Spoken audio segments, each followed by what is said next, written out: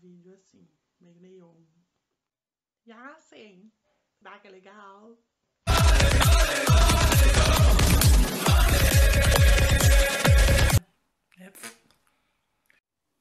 E aí, amores, tudo bem? Como é que vocês estão? Tudo em ordem? Tô morrendo de saudade. Vim aqui gravar esse vídeo para vocês, essa aula.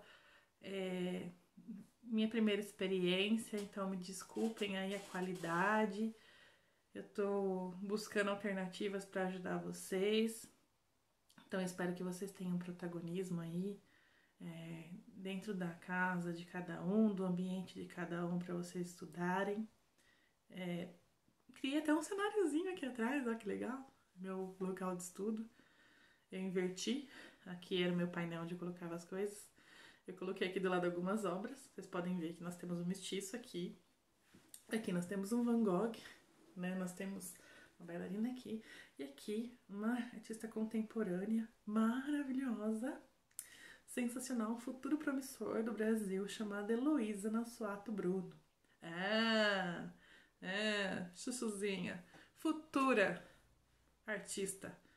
Coisa linda. Então eu vim aqui para trazer essa videoaula para vocês. Esse primeiro momento nosso é um momento de revisão de conteúdos, lembrar os conteúdos que a gente estudou é, antes de dessa quarentena acontecer, fixar esses conteúdos. Depois eu vou retomar algumas atividades com vocês aí, tá? Começar algumas atividades novas. E então é por meio dessa telinha aqui que nós vamos conversar. Esse é o nosso canal. E eu espero que, que vocês gostem, tô dando meu melhor. Algumas coisas eu vou é, editar, porque eu falo muita besteira. Eu vou tentar aqui deixar o mais fluido para vocês. Mas é isso, tô morrendo de saudade, tô morrendo de saudade do nosso contato físico diário, tô morrendo de saudade de abraçar e apertar vocês, de xingar vocês, colocar vocês em ordem, puxar a orelha, dos gritos no corredor, da nossa zoeira diária. Mas enquanto a gente não pode fazer isso, uh, isso é o que nos resta. Então nós vamos dar o nosso melhor dentro do que a gente consegue. Tudo bem? Beleza? Beijinho. E vamos começar a gravação. Deixa eu ir pra cá. Com vocês, que eu acho essencial, que esse tempo que a gente ficou aí, né? Então, eu vou lembrar alguns conceitos. Nós conversamos sobre a relação entre arte e público, foi nossa primeira conversa, né? Nós falamos sobre esse quadro, as Meninas de Velázquez, né? Contamos que esse quadro tem um mistério. Falamos que todo artista ele tem uma mensagem, uma intencionalidade, algo que ele quer passar pra gente, né? Uma intenção. Ah, pausa. Eu vou ficar aqui nesse cantinho aqui.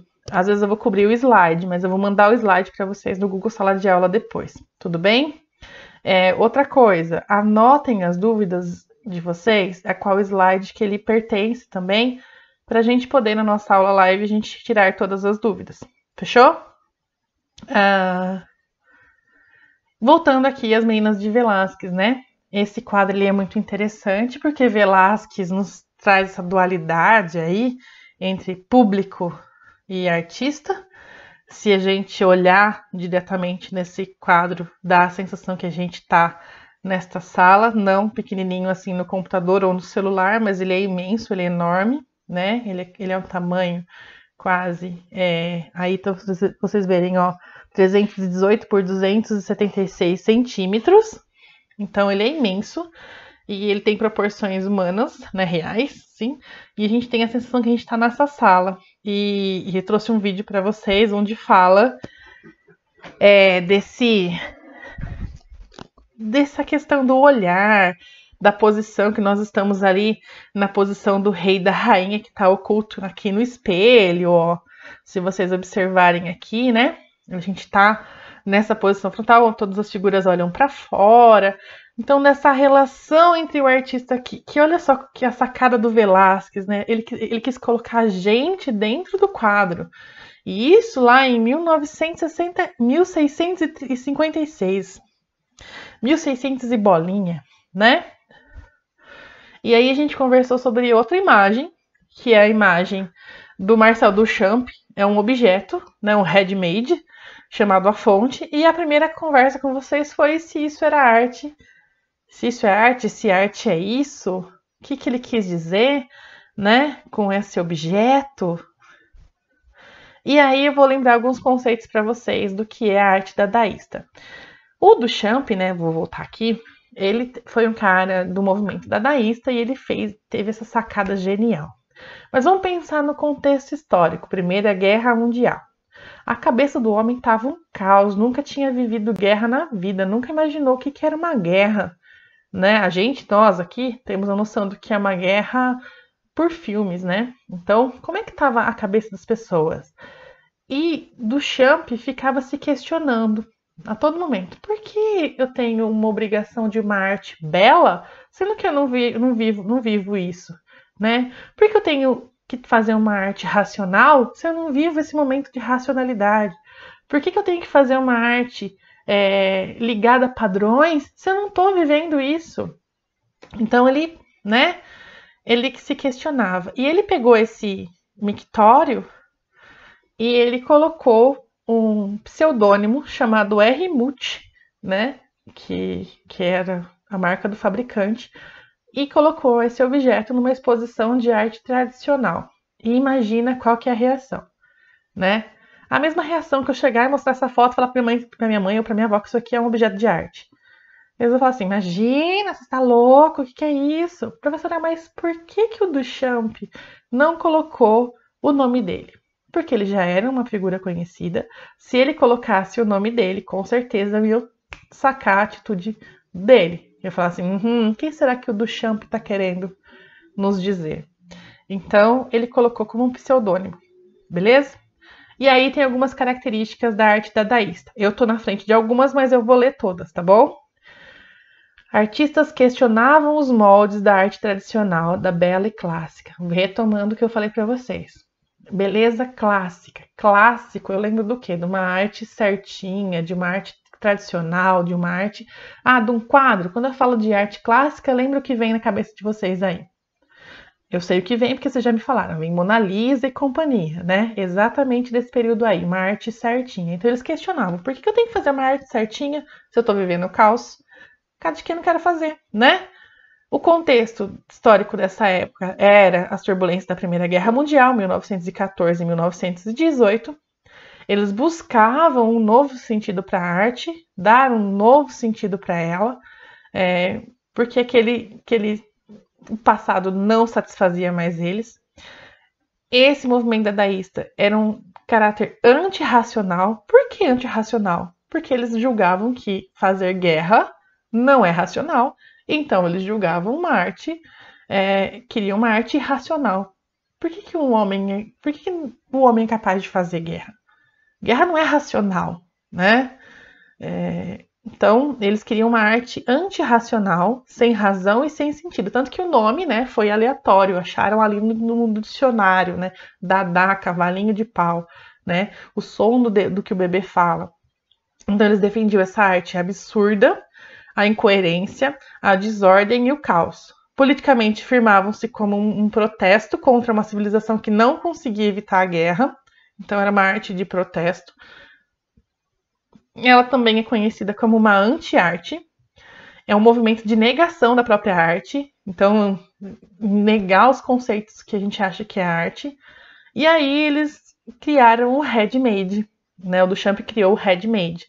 O Handmade, que eu já falei para vocês na aula, então estou trazendo uma revisão, se vocês têm que saber, ele usa do termo da apropriação. Eu me aproprio de objetos prontos, mudo o seu significado. Já vou retomar isso com vocês aqui.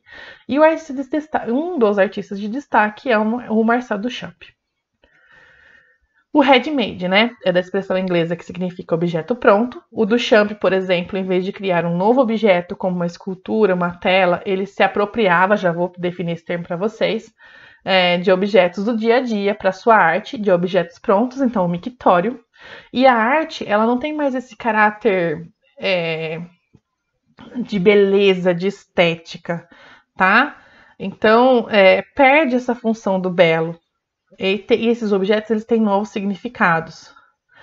Por exemplo, né? Quando ele se apropria do, do objeto, aqui tem um conceito de apropriação, eu retomo mais essa frase do Hausenberg, que é sensacional, né? Um quadro é mais parecido com o mundo real quando é feito de mundo real.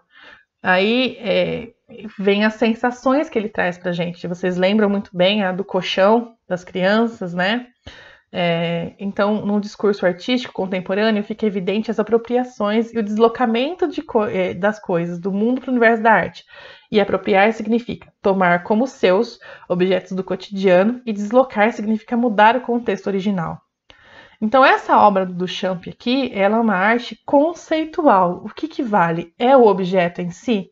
Não, não é o objeto em si, é o conceito, é a atitude. Quando ele foi lá e colocou esse objeto numa exposição, né, e provocou as pessoas a refletirem sobre o que é arte, levar as pessoas a, a pensar que a arte está tão banalizada, qualquer coisa é arte, né? Quem pode definir o que é arte aí? Os críticos de arte estão definindo o que é arte? Então ele, ele foi lá e contestou a própria arte. Então é uma arte, é, uma, é o conceito dela em si, não o objeto. Então a arte conceitual, né, é uma manifestação artística que prima por uma arte mental, fortemente ligada ao discurso, à interpretação de quem aprecia, ao sentir, né? A arte conceitual está ligada a isso. Trata-se de uma arte de intencionalidade intelectual, divergindo da narrativa da forma como o mundo estava acostumado a apreciar as artes antes, tá? E aí a gente falou bastante sobre paródias. Eu trouxe para vocês a imagem do Duchamp também, L-H-O-O-K, né, da, da, nossa amiga Mona Lisa. E o que, que ele fez? O Duchamp se apropriou de um cartão postal da Mona Lisa e colocou nela um bigode, né, um, uma barbicha, um bigode, escreveu embaixo L-H-O-K e que em francês, né, é, ela soletra uma frase muito mal, assim, intencionada, que a senhora Mona Lisa tem fogo no rabinho, né? E aí a gente fala assim, oh, o do champ ousado, né? Como fazer isso? Gente, se pra gente é ousado, imagina para as pessoas daquela época, né?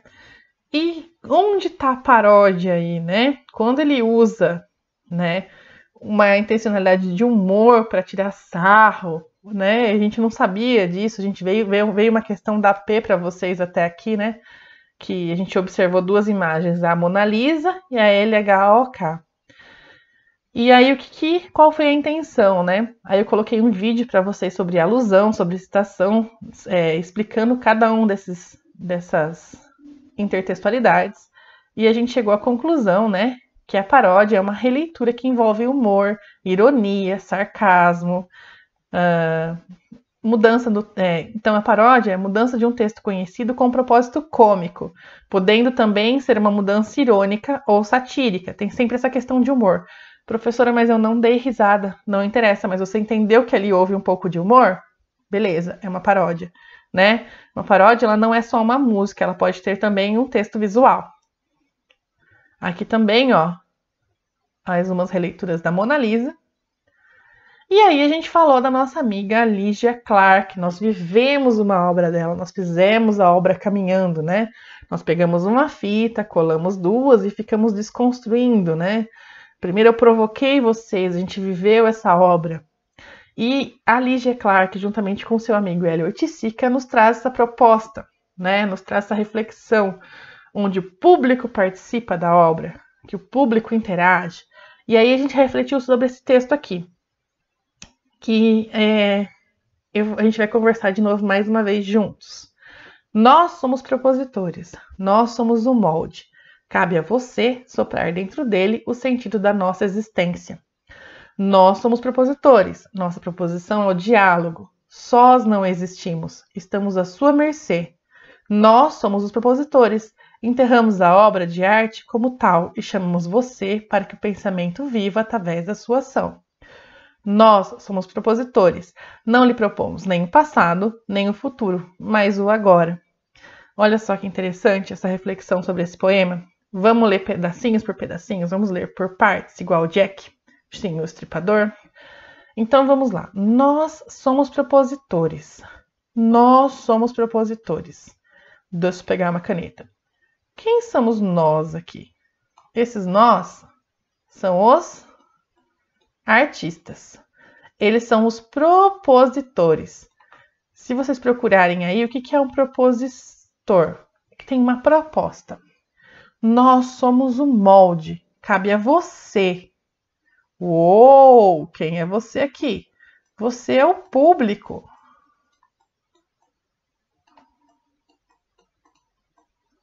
Você é o público. Soprar dentro desse molde o sentido.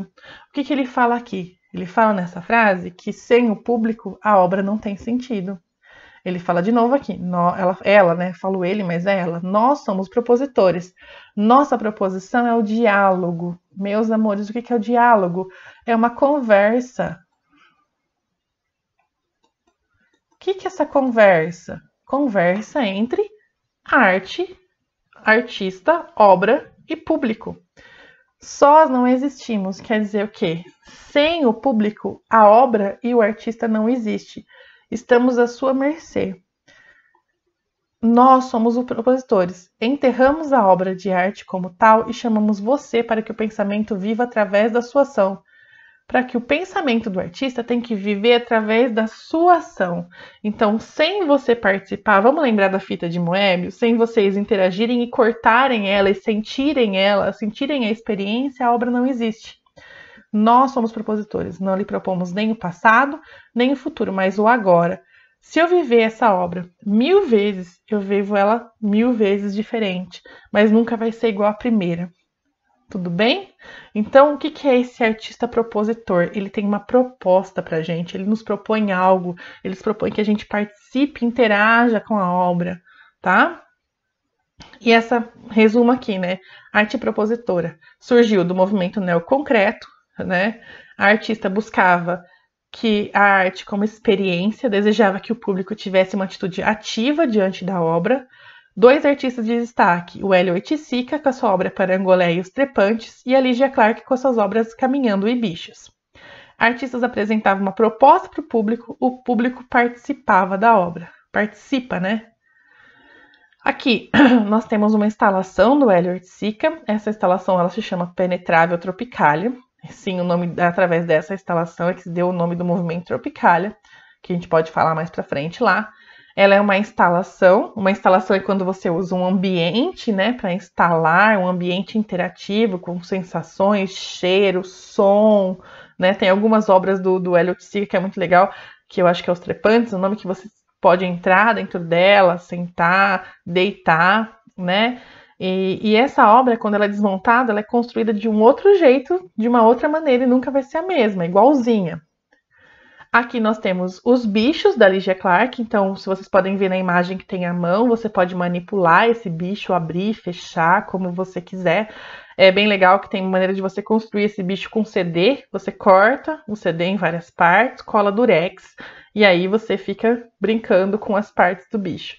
E um parangolé do Hélio Oiticica. Tem dois vídeos muito legais que eu vou colocar para vocês da Vivi falando sobre esses dois artistas que eu acho sensacional. O Hélio Oiticica ele fala que o parangolé é quando você veste o quadro e dança com o quadro. Eu acho bem poético isso que você fala, que você veste o quadro, você dança com o quadro. Então, sem você, o parangolé não existe. Ele precisa da sua ação, do seu movimento para ele existir. Beleza? E é isso aí, pessoal, essa revisão nossa. Tô morrendo de saudade, espero que vocês tenham gostado. Desculpe alguma coisa aí e aguardo vocês na nossa próxima aula. Beijo, saudade de todos, até a próxima. Tchau, tchau.